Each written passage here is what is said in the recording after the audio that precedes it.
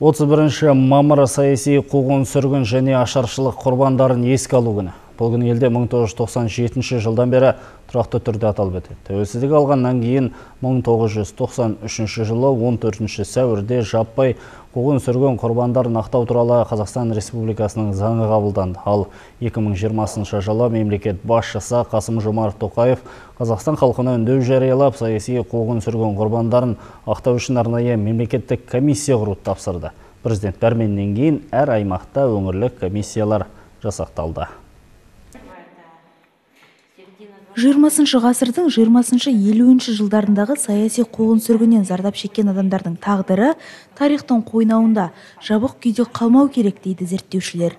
Сондықтан өткеннің қасіретті тәжірибесі объективті тұрғыдан бағаланып, ой елегінен өткізілуі тиіс.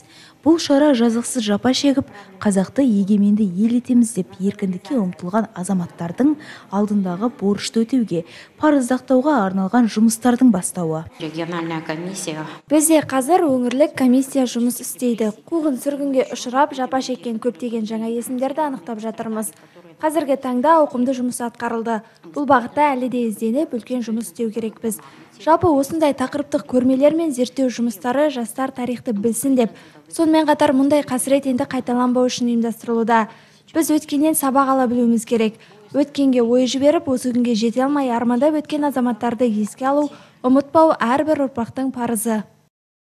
Жалпы зерттеушілер деректеріне сүйенсек, 1927-1953 жылдары Қазақстан бойынша 125 мыңнан астам адам қуғын сүргінге ұшыраған.